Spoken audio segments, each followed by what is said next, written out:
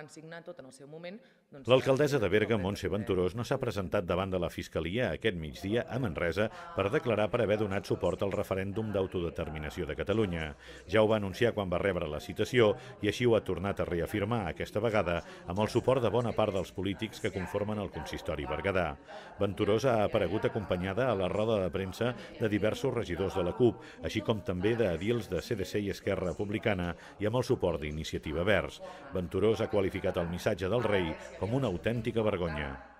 Deien molt clarament que no els jutjats i tribunals espanyols no tenien eh, legitimitat sobre eh, el poble català i el mandat que n'havia sorgit de les urnes del 27 de setembre. A partir d'aquí, eh,